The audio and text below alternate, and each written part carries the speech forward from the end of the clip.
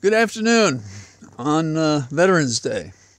And uh, like you, perhaps, I thought of uh, family and friends who have contributed to the country and that the country has more to do for our veterans. But I spoke about that yesterday, so I won't layer over uh, repeating myself. The uh, day was spent in part outdoors doing farm chores, but also we visited a good friend, uh, Michael O'Connor, and he had a breakfast over there. And I was uh, pleased to see that one of his guests was Eileen Filler Corn, who was the speaker in the General Assembly in the House. I think the only woman ever to hold that position in, say, 400 years, meaning ever. And uh, she is firmly committed to run for Congress for Jennifer Wexton's seat. And Jennifer, because of uh, uh, a disability she anticipates with uh, a very tragic uh, health condition she has, will not be able to run again. And so uh, Eileen will. And the, I'm not saying she's the only one, but she's a very impressive woman. And Holly, who's not easily persuaded, uh, who hadn't met her, immediately hugged her, mask and all, uh, and thanked her for what she'd done in the General Assembly. I think it's an indicator of what she could do in Congress. And she's dealt with some very difficult situations. And she has dealt with uh, a situation in which the Democrats struggled to build coalitions to pass legislation in the shorter period that our General Assembly in Virginia has to work. And she's got uh, high marks on constituent matters. So think about her. Uh, there will be others uh, who are thinking of running or who will run, and they will announce when they when their appropriate time comes. As for the issues that we're dealing with these days, well, uh, the Democrats and uh, both in the House and the Senate are of the view what we should have is a continuing resolution with everything at the same level as it was in 2023. And uh, that's a non starter for the Republicans, who, under the, if you can call him that, uh, new leader, the Speaker, Johnson, first proposed, well, we should give 14 billion to Israel and deduct 14 billion from the IRS from their budget. That went nowhere, and even if it could figure out a way to go in the House, it would never have gone in the Senate. So he's come up with another proposal that even his own uh, conference, that is a Republican conference, and Republican members in the House are not interested in, and it's a layered, C, a laddered rather, a laddered CR, so that by mid-January, certain agencies will get funding, and then other agencies in February. And it smells like something in which, yeah, we'll, we'll pass the stuff in January and we'll sc- screw you in February, which is one reason why we want everything on the table and everything agreed, and we want a continuing resolution. And we have to get our act together before uh, Friday, I guess. I think it's uh, midnight Friday, this upcoming Friday, where we have this uh, dead, do or die deadline. Um, in the news, there's another troubling aspect, and it is that, well, day to day we have different variations of the troubles, if you will. And the troubles right now are that there's bombing going on, and hospitals are being bombed. And the theory for doing that is that Hamas is using the hospitals to protect themselves uh, because in a way, they're using the hospital as a shield. Or maybe that's the only thing they're doing.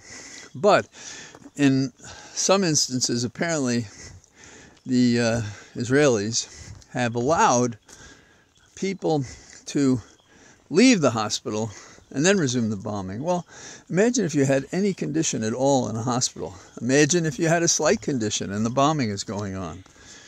But that is the policy. And uh, the United States is jawboning, and I don't mean to say that they're not trying, but we have a lot of funds and ability to put pressure on Israel to try to work toward a peaceful settlement rather than blow up the center of the earth because there is this agitation throughout the region which doesn't take much to break into fury and fighting and war and death and destruction. Now, this may be unsolvable. We may not be able to make that happen, but that's an objective we should be working toward more than what we're doing now. Bombing hospitals suggests, without knowing any law, you'd have to think, boy, that sounds wrong. Bombing a school, doesn't that sound bad? How about children are dying? That's bad, we know that. But is there really any group that you could say, well, it's okay to kill those people? Well, combatants normally is a, a definition that we hear. And is it excusable if I can't get at the combatants to attack women and children? Seniors, citizens, whom? Whom may you attack in a war? And we have tried to fashion rules for war and understandably, the rules go out the window at the first engagement. And that's what's happened here. So, how do we get back to a place of peace, a place where America is comfortable to be on the side of settling this matter rather than extending it? This cannot be an issue that has to do with satisfying and balancing constituencies in America. This has to be a decision that's based on what's right and fair. Now, on the Republican side, I don't know if you saw a statement by uh, uh, Psaki, and I thought it was a good one. She was talking about how those who would be presidential contenders, that they expressed their position about Israel, and it was really to ground uh, Hamas and Gaza into the earth, that's not an acceptable position. And it's not realistic. And it certainly would lead to a larger commitment. And the question is should we be behind that and how and where? So the Republicans, even the wannabes, are nowhere. There is, I think, no Republican voice to come forward and say, this is how we do this. And that's a shame. The way the Republican candidates match up is basically it's Haley versus DeSantis. So, what does that mean? Well, there are two other bad candidates. And when they say one of those will be against Trump, what does that mean? At a convention? in uh, the primaries, the Republican primaries.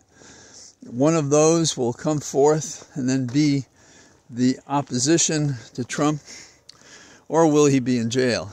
Meanwhile, on the Democratic side, uh, there's more and more talk about additional players coming in to challenge Biden. I think I probably can safely say to my fellow travelers here that that is the stupidest idea. And I said it yesterday. No one has any idea what a presidential campaign is like. And I, I have observed it closer, but unless you do it, you don't know it. I've been in campaigns, I think I've said this before, in which uh, the people working in the campaign say, This would be a great campaign if we had a different candidate. and I think when I ran for Congress, maybe there was behind my back some of that kind of talking as well. And there are complaints that are made to you, and then you, you can deal with those. Not always with satisfaction, but you can do that. So, this is the crazy world we live in.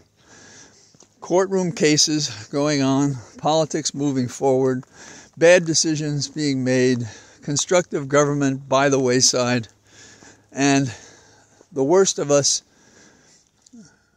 think they're the rightest of us and there are even open statements that voting isn't all it's cracked up to be.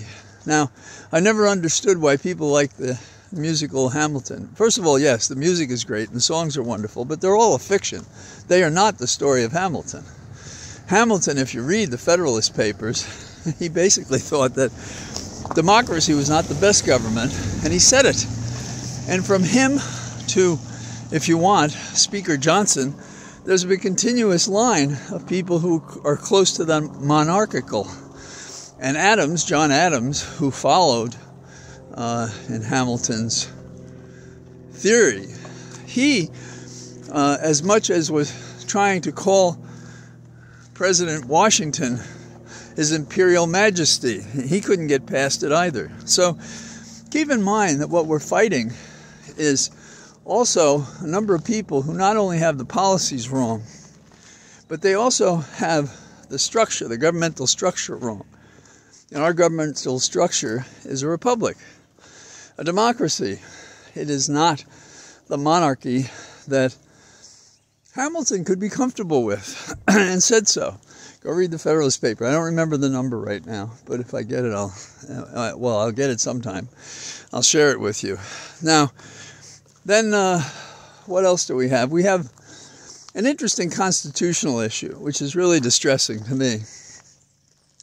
At the same time, we have Pope Francis saying we're going to open roads of acceptance and participation to transgender persons. One of the things that they discussed was um, baptism. Now, here in Virginia, we have a law that passed in 2020, I believe. It was the Virginia Values Act. And among other things, it was to protect against discrimination LGBTQ people. And that is critically important given the widespread discrimination endorsed by many other religions and by many individuals in religions claiming all sorts of slanderous and terrible things and denials of equality of such people. So there's a fella in Virginia, Bob Updegrove, and he takes photographs. And he said he should not have to take photographs at a same sex gay wedding. Well, yes, he should if he's called upon. And if he doesn't, that's discrimination, and it's a violation of the Virginia Values Act. And get this, he doesn't have a single instance in which a gay couple has asked for him to take these wedding photos.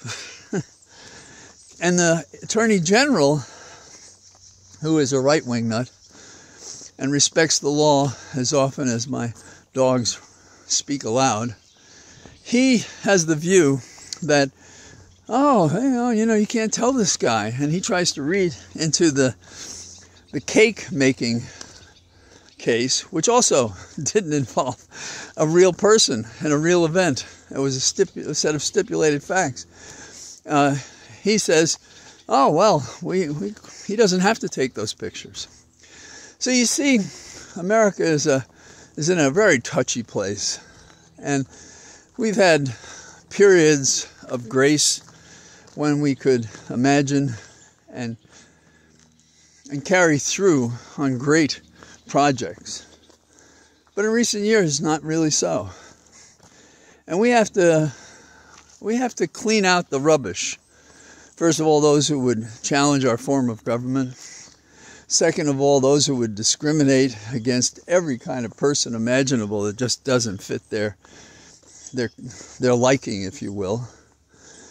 We have to encourage more education. We have to encourage protection of the environment. We have to do the things that are like the good housekeeping seal of approval for a civilized nation. And the definition of a civilized nation, forgive me for saying it again, the measure of a civilized civilization is how do we treat our own? And the answer is like shit, badly. There's something wrong with the nature of politics in America, and in almost every case, the cancer springs from the Republicans. So until their leadership is ousted, we have to fight in every way we can. And we have to expect that they're going to try to cut votes out in key states so that the people don't actually vote in the election. They're deceived into voting in a way that breaks up the election so that their position does not favor outcomes. And their position, that is, the one that doesn't believe really in government, in the general welfare, doesn't believe in equality, and doesn't believe in a democracy, they're doing everything they can to prevail. And who among us, putting aside all the other Republicans, could be comfortable with Trump in the West Wing again? I don't think any could. So, speaking to you from our Cathedral of Trees, and it's beautiful out here, and I'll see you again tomorrow. Bye bye.